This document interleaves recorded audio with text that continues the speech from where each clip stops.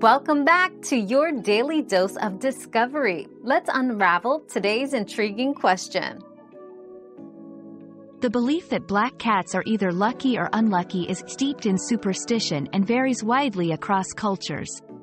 In some parts of the world, black cats are seen as good luck charms, while in others, they're considered harbingers of misfortune. However, it's important to remember that luck is a matter of perspective and personal belief. Rather than focusing on superstitions, embracing the joy and companionship a pet can bring is a far more positive approach.